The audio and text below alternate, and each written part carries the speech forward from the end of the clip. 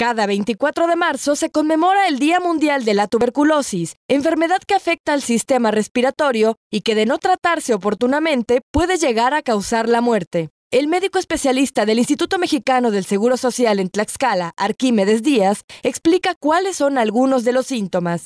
Los síntomas principales que los pacientes tienen son tos de dos semanas de evolución por lo menos, que puede tener expectoración o sangre, también presentan sudoraciones eh, nocturnas, eh, además de pérdida de peso, fatiga, cansancio. Eh, es causada por una micobacteria, la micobacteria tuberculosis, y se transmite incluso por el aire. Es decir, la persona que la contagia puede al momento de hablar, toser o estornudar, desprender partículas y permanecer estas en el aire suspendidas y pueden ser causa de contagio.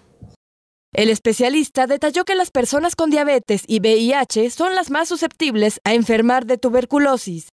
Según datos de la Organización Mundial de la Salud, en 2013, aproximadamente 9 millones de personas enfermaron de tuberculosis y 1.5 millones murieron por esta causa, de los cuales 360 mil tenían infección por VIH.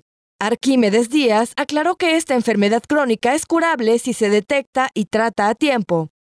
Del programa Prevenims se hace la búsqueda intencionada de pacientes sospechosos, es decir, si se encuentran personas que tienen antecedentes de una infección o de síntomas respiratorios por más de dos semanas sin haber mejoría, se les realiza su estudio de flemas que se llama baciloscopías, las cuales eh, se detecta, tiene una sensibilidad hasta de un 95% para identificar la enfermedad.